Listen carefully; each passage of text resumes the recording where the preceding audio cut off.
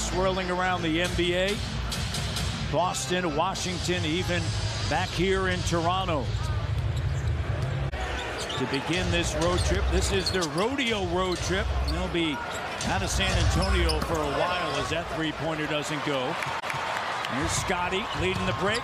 Red Van Vliet attacking, has it blocked by. They should start talking about that. No, he is a difficult guy as a help defender in particular, where he just comes in and gets those swipes and steals the ball from people. Great coming down, helping on the post. And Tony, Tony Parker and Robinson, that whole crew works out pretty well.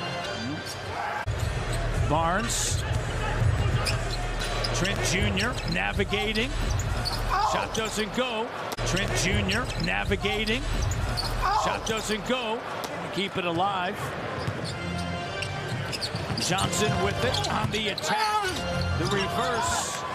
Nice move by Johnson, which is a career high for him. Branham on the take doesn't go. 48. So I want to play with the 36 minute time limit. So far, the league has denied me. Then you'd say to yourself, are they here to watch the Raptor guys? Yeah. They here to watch the opposing yeah. team? And Utah, of course, you know, they're and Conley, and time to time to change the look. Yep. And a denial by Richardson.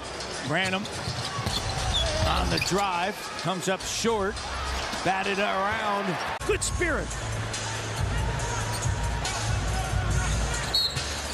Foul to give there. Fred quickly, Siakam, Trent Jr., Van Vliet puts it up, and he'll head to the free throw line. VanVleet. And he had three straight games, though, with multiple threes, right? And uh, he only had two of them in January, so he's stroking it a little bit better here this month. Van Vliet change of direction. Won that third quarter, 31-21. Won the opening quarter by 10.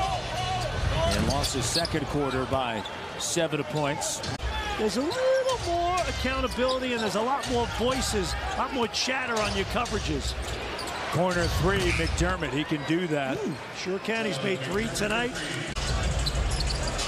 Raptors looking to match their season-long streak and wins. Use of uh, certain adjectives. Achiuwa with the denial. Trent Jr.